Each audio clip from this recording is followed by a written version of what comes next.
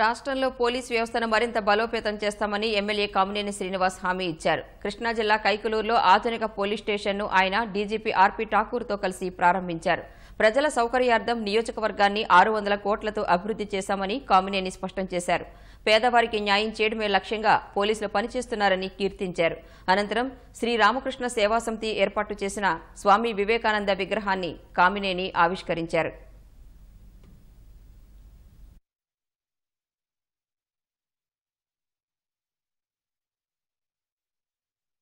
శ్రీ ఆర్పి ఠాకూర్ గారు నీతి నిజాయితీలకు మారు పేరు. మనకి కృష్ణా జిల్లా ఎస్పీగా తెలుసు మీకు. కేంద్రంలో లెక్కలు చూస్తే కరప్షన్ ఇరవై తొమ్మిది రాష్ట్రాల్లో ఇది ఇరవై ఆరు రాష్ట్రాల కన్నా ముందు ఉంది థర్డ్ ప్లేస్లో అంత తక్కువ ఉంది. ఏసీబీ డైరెక్టర్గా మీరు చూసారు రోజు పేపర్లో కోట్ల ఆస్తులు ఎవరైతే దిగమింగారో ఆ అవినీతి పనులకు సింహ స్వప్నంగా తయారయ్యారు. ఆయనకు ఒక ఇమేజ్ క్రియేట్ చేసుకుని ఏసీబీకి ఒక ఇమేజ్ క్రియేట్ చేశారు.